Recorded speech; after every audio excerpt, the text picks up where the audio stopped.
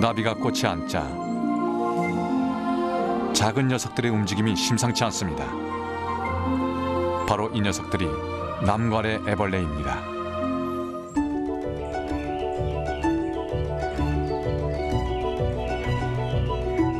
불과 몇 시간 전에 굴에서 빠져나온 남괄의 애벌레들. 본능적으로 주변의 꽃대와 풀을 찾아 높은 곳으로 오르기 시작합니다.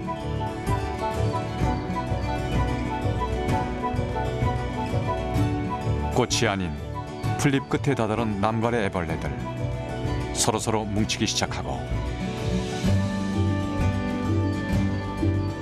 아예 처음부터 꽃 위로 올라온 녀석들은 운이 좋은 편입니다. 마치 꽃의 일부처럼 보이는 남괄의 애벌레들 모든 준비가 끝났습니다. 이제 꽃을 찾는 곤충들을 기다리기만 하면 됩니다. 꽃이 아닌 곳에 뭉쳐 있는 애벌레들. 꽃등의 날개짓에 반응을 합니다. 꽃처럼 보이게 하려는 것입니다. 남괄의 애벌레들이 꽃처럼 의태를 하는 이유는 꿀과 꽃가루를 얻으려고 찾아오는 곤충들에게 전적으로 생존이 달려 있기 때문입니다. 그런데 하늘소를 선택한 애벌레들은 살아남을 수 없습니다. 녀석들의 운명은 하늘소와 같이 할 것입니다.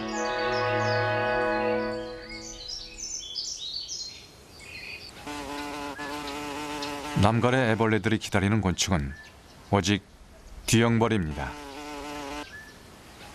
드디어 기다리던 뒤형벌이 찾아왔습니다. 이 녀석은 뒤형물의 한 종류인 호박벌입니다. 남갈의 애벌레들이 기다렸다는 듯 올라타기 시작합니다. 털복숭이 호박벌을 움켜잡은 애벌레들은 털 깊숙이 파고듭니다. 남갈의 암컷이 수천 개의 알을 낳는 이유는 애벌레들이 호박벌과 같은 뒤형물을 선택할 확률이 매우 낮기 때문입니다. 목과 배를 파고든 애벌레들 때문에 발작까지 일으키지만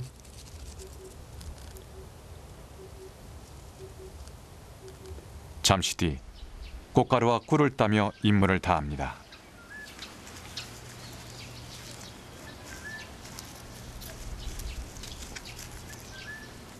남거래 애벌레들이 덕지덕지부터 무거워진 몸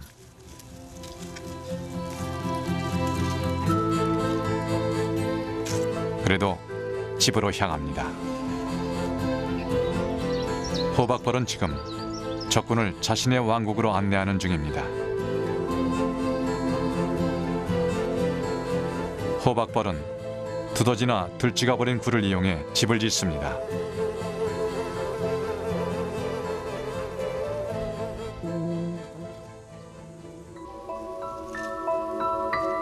무사히 안착한 호박벌. 지금 자신의 왕국의 미래를 결정하고 있다는 사실을 알지도 못한 채 불청객을 털어내기 시작합니다.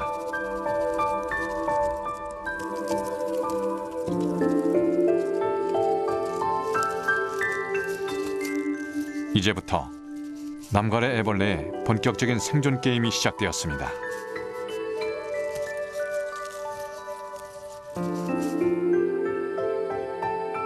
남갈의 애벌레들은 호박벌의 알과 화분을 훔쳐 먹으며 생존할 것입니다.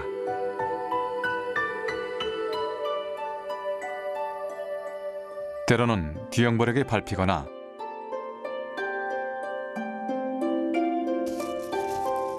잡혀 먹힐 수도 있지만 일단 살아남으면 애벌레 한 마리는 파괴적인 존재가 됩니다.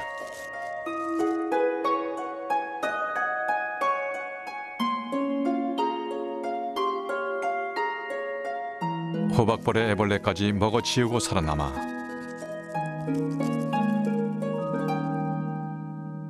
이듬해 봄 이 왕국을 버리고 다시 바깥 세상으로 나올 것입니다.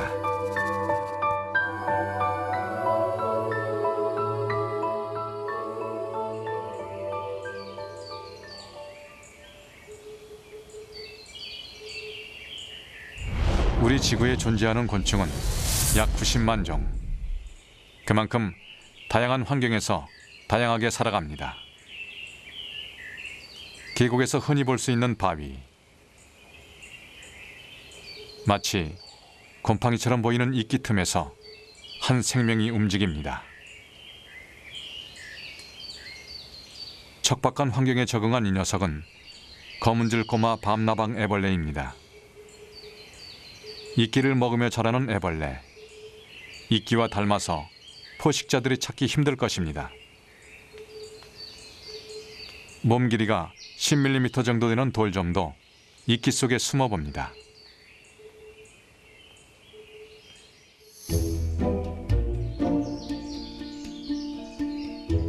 물론 절대적으로 안전한 곳은 없죠.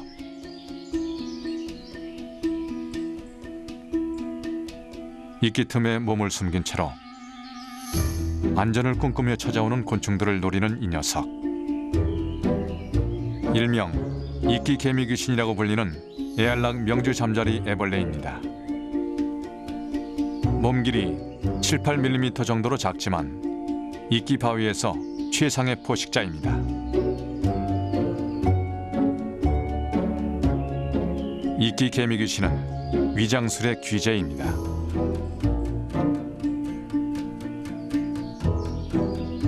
그동안 곤충 전문가들도 찾지 못했을 정도로 완벽한 위장술을 자랑하죠.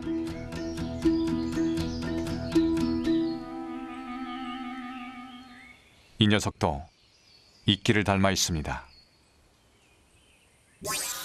흔히 알고 있는 개미 귀신과 비교해 보면 사는 것만 다를 뿐 두 녀석의 생김새는 비슷합니다. 모래에 적응한 이 녀석은 곡갈 모양의 함정을 파고 개미를 사냥하는 개미 귀신.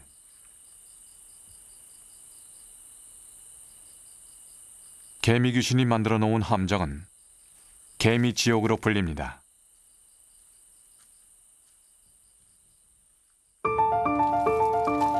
일단 함정에 걸려들면 쉽게 빠져나갈 수 없기 때문이죠.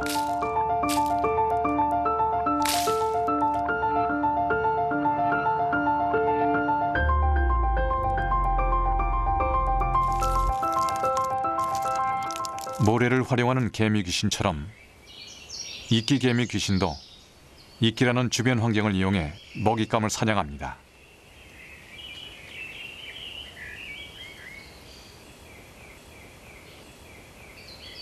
이끼가 낀 바위 틈에 조용히 숨어서 먹잇감이 지나가기를 기다렸다 사냥을 하죠.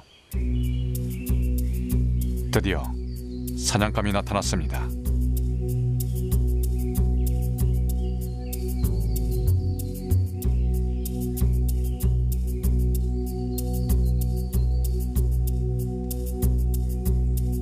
실패했습니다.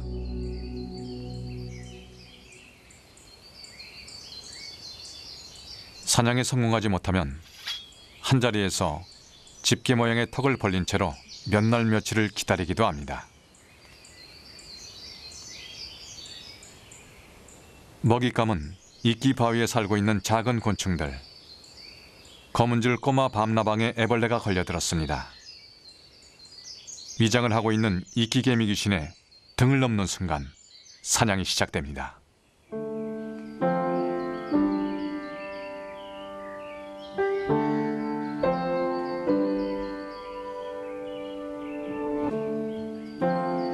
이끼 개미 귀신의 주무기는 집게처럼 생긴 뾰족한 한 쌍의 턱.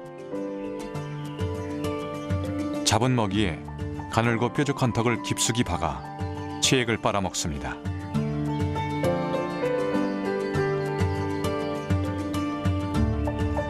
이끼 바위에 거꾸로 매달려 오랜만에 잡은 먹이로 허기를 달랩니다.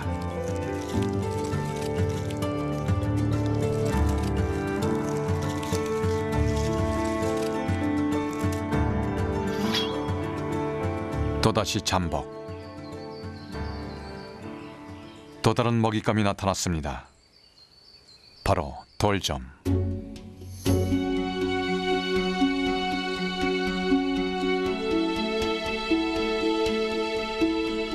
재빠른 돌점도 이끼개미 귀신의 먹잇감일 뿐입니다.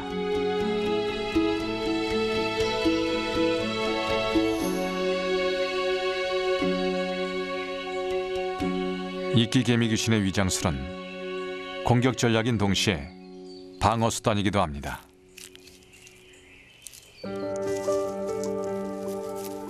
이끼 위에서 무사히 애벌레 시기를 보낸 이끼개미 귀신. 애알락 명주 잠자리 애벌레는 코치를 틀고 변신을 준비합니다.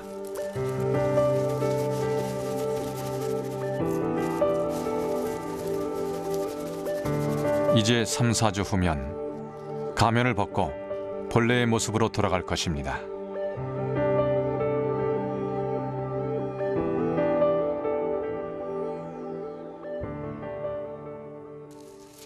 변호가 시작되었습니다.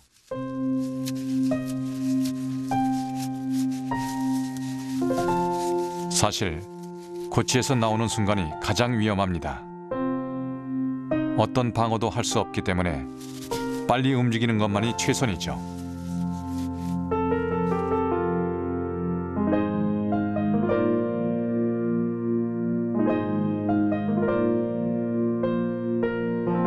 녀석은 바위에 다리를 단단히 고정시키고 날개를 펴기 시작합니다.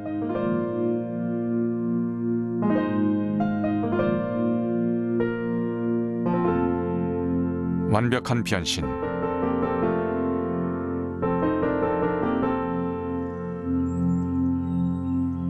이 녀석이 에알락 명주 잠자리입니다.